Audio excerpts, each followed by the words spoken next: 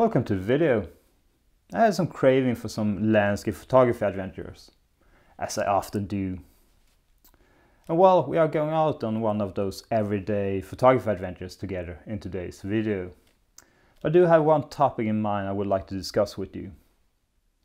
As you might know, I'm quite careful and selective with my subjects out in the field. I try and have that photography eye and have that final image in mind.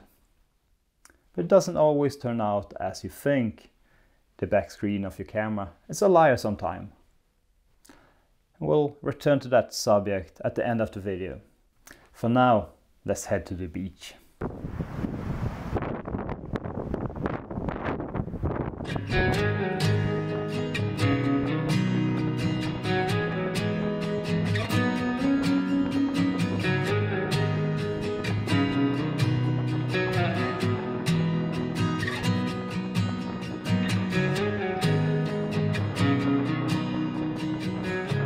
Welcome to the beach. Quite a windy day today. I just stepped out behind one of the sand dunes here to get a break from the wind. Hardly anyone out on the beach. I can't imagine why. And it isn't any old beach. If we were to Google like Sweden's most beautiful beaches, I'm sure we would find this in the top 10. It's this very fine corn sand beach with quite a few sand dunes. So we have some exploration to do. Let's see if we can find any images today.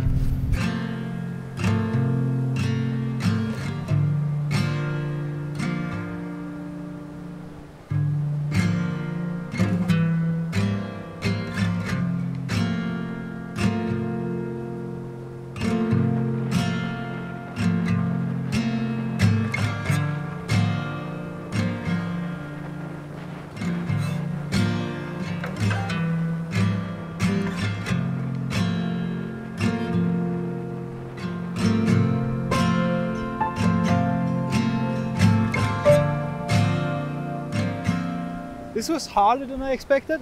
I kind of had this idea that I want to make some really like surreal images at this place.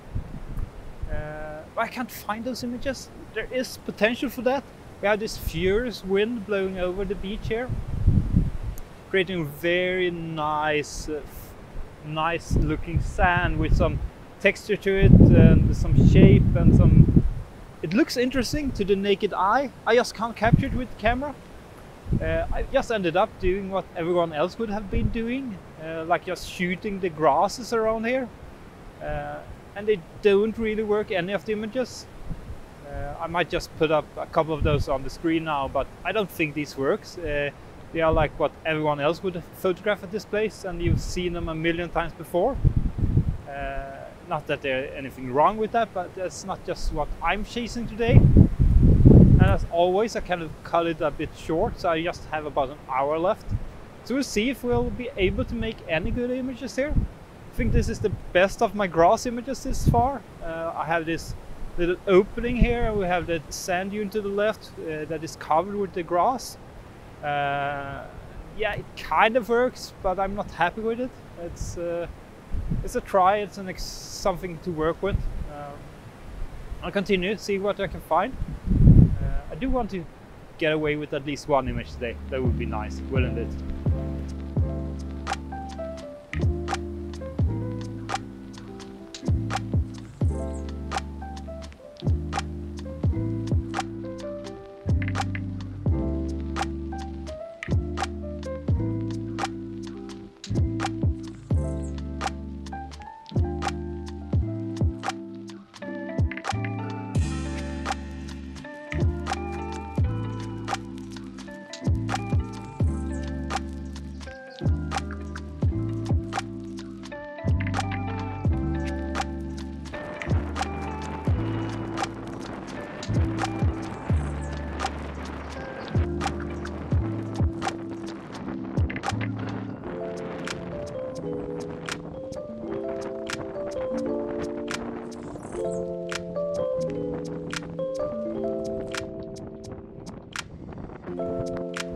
うん。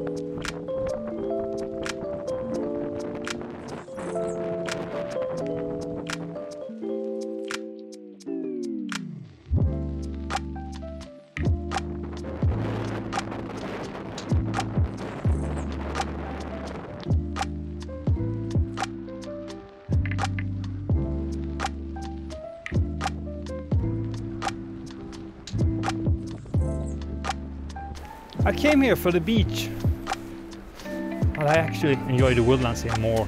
It's incredible. Just look at it. It's beautiful. This place in black and white has a lot of potential. So I might just return here with one of my film cameras. Some FP4 at this place. Yeah, that would be lovely. Unfortunately, I haven't really found anything to photograph today. Uh, and I am starting to lose light.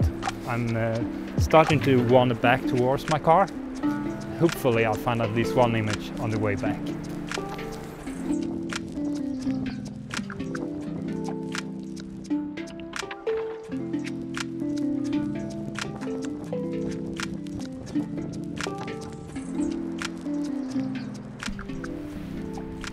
So I did manage one last image. Uh, I'm not overly enthusiastic with this. It's kind of just a last final ditch attempt of making something of the day.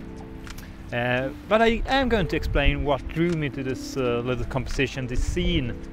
So you might know I do shoot quite a lot of black and white, especially when I do film photography.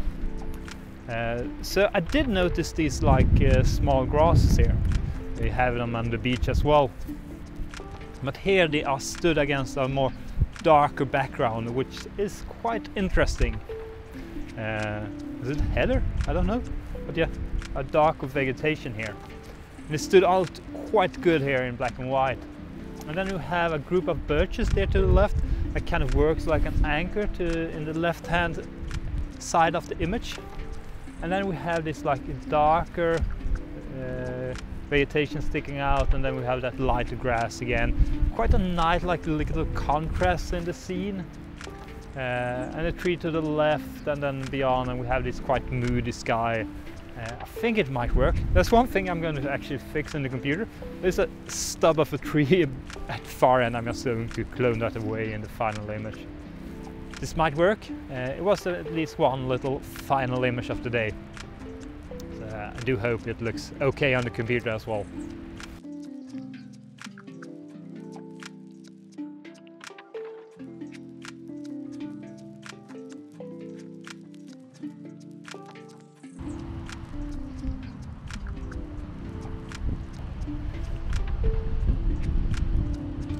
One model image and this I kind of feel like it's a cheap trick. I'm not a big fan of like a super shallow depth of field because yeah, in landscape images kind of want to see everything but I'm using that here. Uh, so these grasses I spoke of before uh, over here going incredibly uh, low so I'm on my knees here uh, and just having one of those uh, grasses in the foreground and then shot the wide open, so f4 with the lens, uh, throwing everything out, else out of focus. And then we have that little group of trees I spoke of before, those uh, birches, uh, soft in the background, and then the moody skies in the background. I kind of think it works. Uh, it's strange. It's perhaps a bit cliche, but uh, might work. Might work.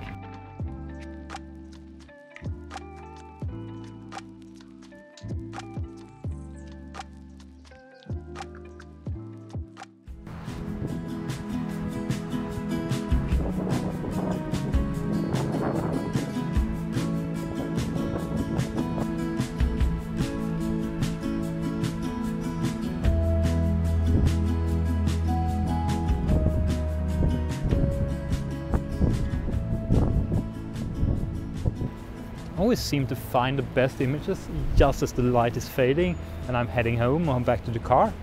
What we have here is a group of birches right about there. And you know I do love myself some birches, especially in black and white. It just works so well. But what makes this slightly more interesting is we have these like patches of uh, green mosses uh, among this dark background that helps that birches to stand out. But then we have that little light patch just next to the birches and it works quite well, uh, at least looking back at the screen of the camera. I had to crank the ISO quite a bit. So I started with the ISO 125, so base ISO. That gave me a shutter speed of like one second.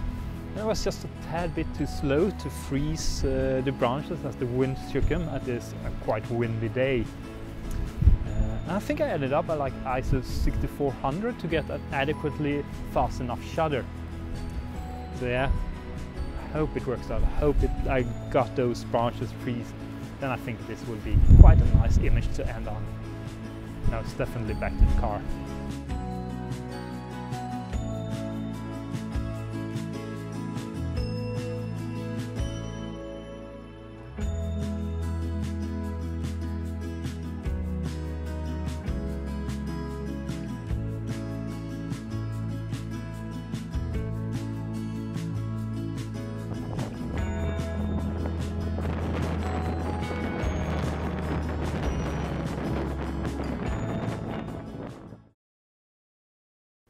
I often have an idea in mind for what I would like to create and how I want the finished product to look. But it's quite easy, at least for me, to be quite doubtful out in the field, uh, looking at the back of the camera. As this date proved, I thought all those June shots was pure trash. And it was down to, well, me and two things. As you might know, I'm quite a big fan of black and white, so I had my camera set to Acros film simulation, so a black and white film prof profile. Secondly, I like myself a square format, so I had a one-to-one -one crop, as that's what I like to shoot, typically. And it was the completely wrong decision for that day.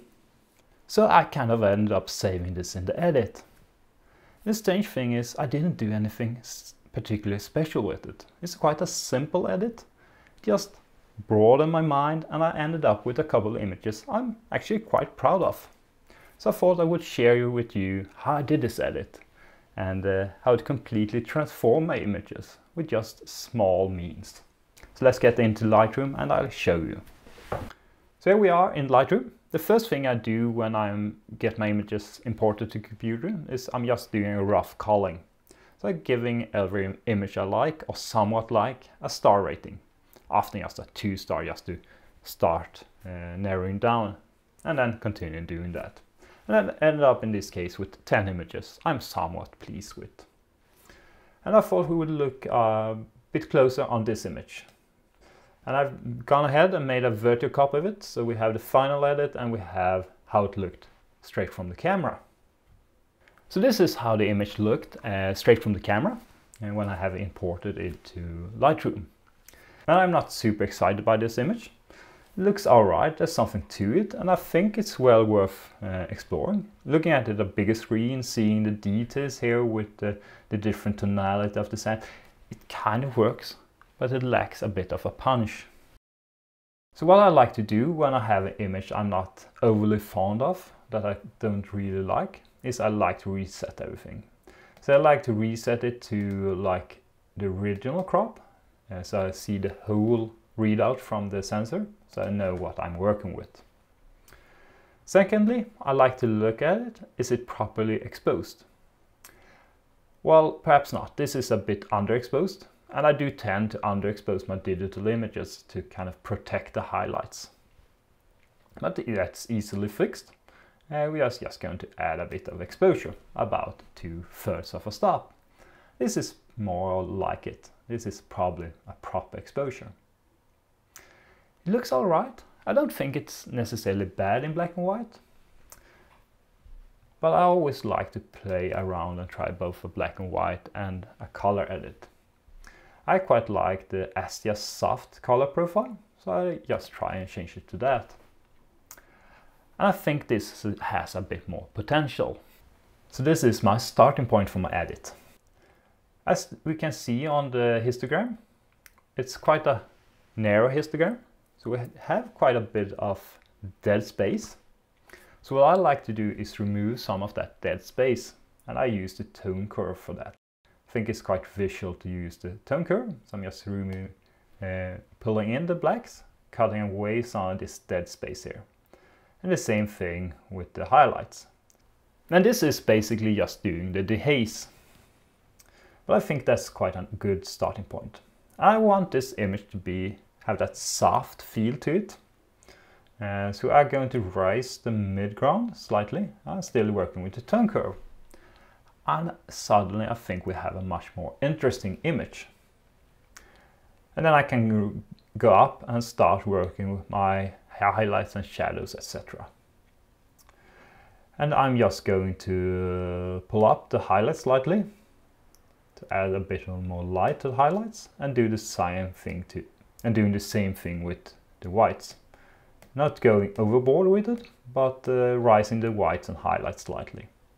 I'm also going to rise the shadows a bit and remove and then darken down the blacks slightly just to give it a bit of contrast to it. I think this looks a bit better.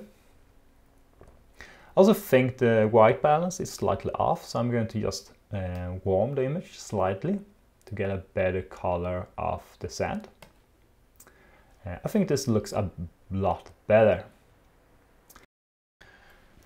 I think that digital cameras in general are a tad too sharp. So to counter that, we are actually going to lower the clarity slightly, which I think gives us a lot of a softer feel. And we end up with an image I'm quite pleased with. It's 90% of the edit. I will fine tune it slightly, uh, remove some distraction and uh, uh, fine tune the sliders slightly. But we end up with an image I'm quite pleased with. Uh, the two most powerful tools are the crop tool and the ability to change it to a color image in this case. And it works a lot better as a color image. The yellow against the bluer tones of the sea and the sky works really well. This wasn't supposed to be an edit tutorial. It was more a reminder for myself to not be too narrow-minded. And you can't always trust the camera when out in the field. It's normal to be doubtful, but it's also important to remember you don't regret the images you take, you regret the images you don't. And I don't mean uh, run and gun, like just shoot everything. I personally are still quite selectful. But if I see a scene I like and I think, oh, that might work as an image, I try and make the image or take the image. And sometimes they turn out a lot better than you would have ever expected out in the field. Suppose that was the long way of saying just take the image. I hope you enjoyed the video anyhow. I see you in the next one. Do take care and bye.